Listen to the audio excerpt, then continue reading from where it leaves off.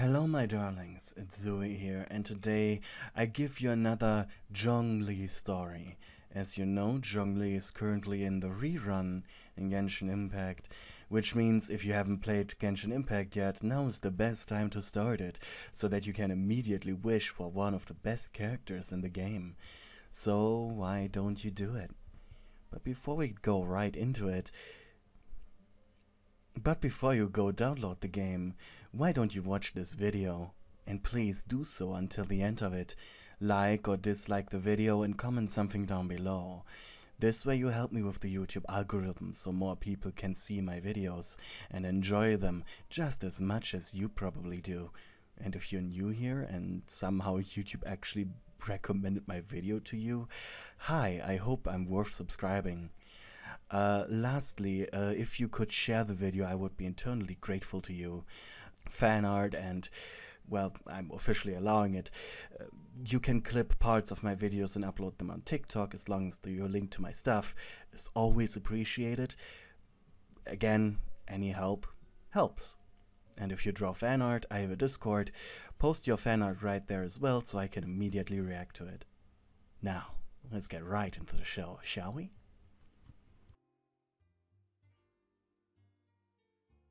The Wangsheng Funeral Parlor was a place many people in Liyue avoided like the plague. Working in this business was considered bad luck, and dealing with the dead was frowned upon. That's why the parlor was hidden in the deepest corners of the city of contracts. And most interactions happened with letters. The handful of people who did work there were considered outsiders, or at the very least, weird. In the case of its director, both seemed to be the case. Since she was mostly absent, spending time with a strange traveler, leaving you, her secretary, as really the only person running the place, even though you were employed simply to take care of the numbers. Today your face was buried behind your hands. It didn't look good. One of the employees, Mr. Zhong Li, had spent an exorbitant amount of money for the funeral of an old noble, blowing up the budget given by the deceased's family by a huge margin. You hated telling the man to stop. And you hated telling him whenever he made a mistake. After all, you were guilty of the sin of being attracted to your coworker. Outside of his spending habits, he was unbelievably mature. But he threw money around like he was the one producing it, and therefore had endless amounts of it as well. You needed to scold him. With shivering hands, you clutched your geovision the stone had appeared in your palm after you had first entered the funeral parlor to incline for an internship, as it had been the only place hiring at the time. You had taken it as a sign of good fortune, and accepted immediately when the director Hu Tao offered you a full employment. With shaking legs, you walked outside the building. It was an early evening the sun was still bright, and the streets were bustling with people. In truth, you hated that. You preferred to be alone. Taking a guess as to where to find your coworker, you marched towards the third round knockout. Despite the tavern being known for its alcohol, Zhongli could be found there on almost a daily basis, enjoying the herbal tea they offered there for a low price. As expected, Zhongli was sitting alone at one of the tables, cup in hand. As expected, the tall man was sitting alone at one of the tables, cup in hand.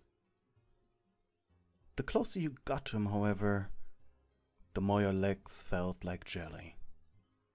And when he finally noticed your approach, he smiled gently. Why did it have to be him? Ah, what a pleasant surprise, he said once you were in earshot. Zhongli gestured for you to sit. I did not expect company. I would have ordered some tea for you too. you blushed. Wait. Why did you come here again? By now, Zhongli had arranged for you to get your own tea. Flustered and with a heavily beating heart, you sat there, unable to think. So, what brings me the honor? He said in that deep, comforting voice.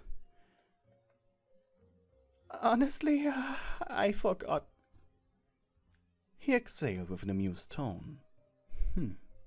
If you have forgotten it, that just means it must have not been important. You nodded and took a sip of your tea. It was a bit bitter and sour. Zhongli smirked upon seeing your grimace. I believe you have forgotten to add sugar, my dear.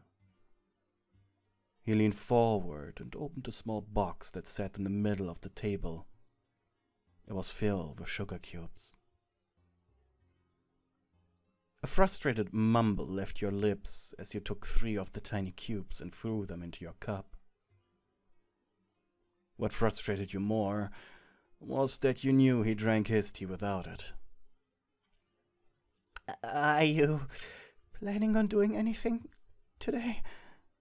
You somehow managed to croak out. Zhongli went deep into thought. When time allows it, I tend to enjoy a walk through the city. It is somehow very calming to me. Hmm. Just when did this feeling begin? He was quiet for a moment before saying, Oh, I do apologize if I may bore you. You shook your head. No, uh, no, I'm, I'm fine. He tilted his head and gave you a warm smile. Would you like to accompany me then? You squeaked and he raised an eyebrow. He was about to ask you if something was wrong, when you quickly interjected. Oh, of course! After tea time was over, and you paid, you slowly trotted with your tall co-worker through Liyue.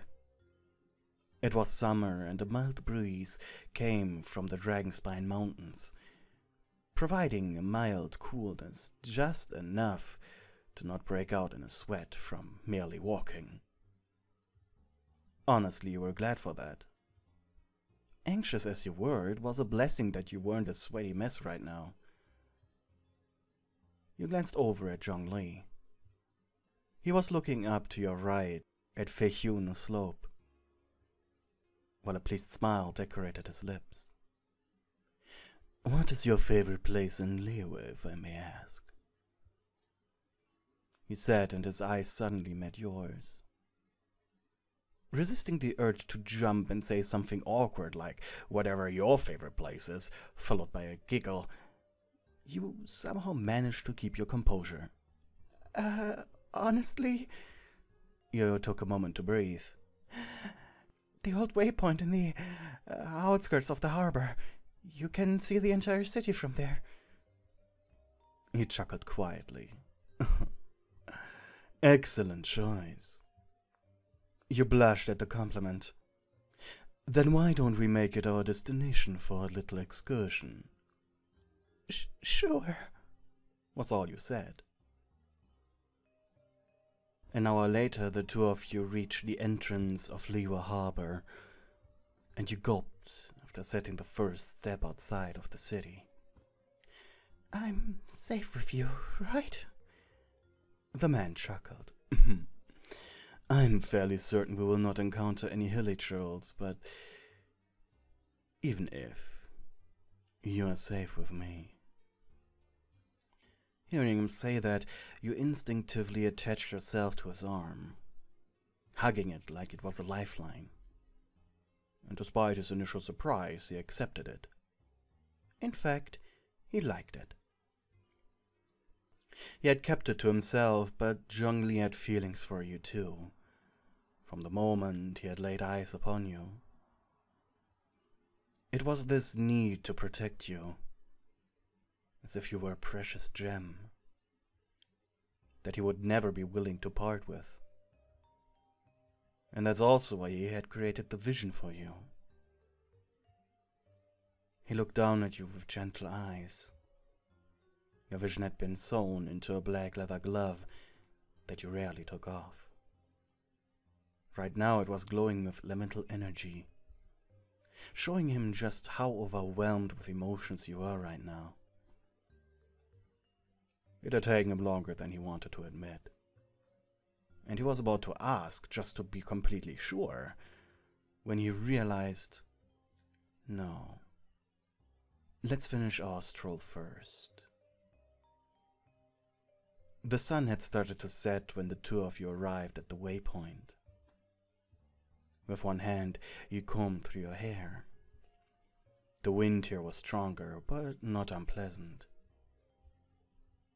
You and Zhongli quietly watched as the sun touched the ocean at the horizon. Then he suddenly stepped away from you. A confused noise left your lips. Did you do something wrong? You were about to say something, but he was already returning. Something small and white in his hand. I was just making sure I haven't forgotten it. It was a glaze lily. A beautiful yet rare and expensive flower. Would you allow me? You made a confused noise when one of his hands softly brushed over your head as he gently placed the flower in your hair. You were so close now that his scent entered your nostrils. He smelled of tea leaves and exotic wine once the flower was safely placed on your head. He didn't take a step back, opting to just look at your beautiful face as you stared up at him, mouth halfway open, unable to speak. I had been wondering about your little mannerisms, he said with an amused smile. I simply have to ask, are you fond of me? You felt tears running down your face as you threw yourself against him. Words leaving your mouth, sputterings of a lovesick lunatic. But Zhongli simply closed his eyes as warmth filled his entire being. It had been many years since the last time he had fallen in love, and even more years since the last time he had followed through with confessing his feelings. His arms softly caressed your back as you kept on muttering sweet nothings into his chest. It was admittedly very adorable. And finally you stopped, opting to simply press your body as far into him as you could, until he took a step back. With one finger he pushed up your face by the chin forcing you to look into his, his beautiful yellow jade colored eyes. For a split second, neither of you moved. And then he closed the distance. His soft lips forcefully pressing onto yours like a befallen planet. His breath tickling down your neck as your lips parted allowing his long and soft tongue passage into your hungry mouth.